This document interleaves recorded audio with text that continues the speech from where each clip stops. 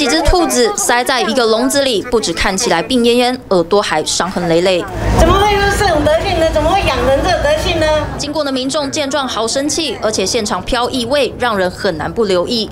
这是在富冈码头，这名妇人被发现用麻布袋装了一整袋动物，说要搭船去蓝屿。没有办法安置啊，因为我我 我连自己的衣服都湿的，不然我们真的没钱。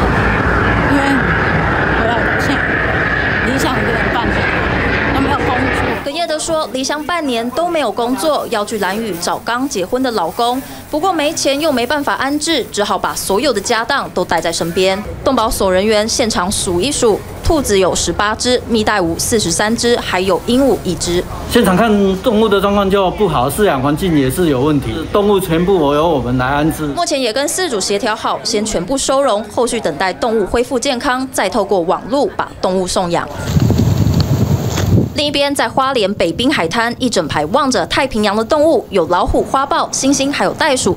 乍看还以为是有动物大迁徙。这些是五十年前放在美仑山公园的艺术装置，原本早就被人遗忘，现在艺术家放在海边展览，引起民众注意。这这个展览本身就是用这样子的一个很像海，一个很开阔的态度。来看待，就是我们来看待这个这个我们生活的这个地方。虽然有些斑驳，之后将重新修缮，再放回原来的地方，让民众亲近。TVB 新闻高志宏、刘景元、李鲁花莲台东采访报道。请订阅、按赞、分享 TVBS News 频道，并开启小铃铛，也请用手机下载 TVBS 新闻 App，随时掌握国内外大事。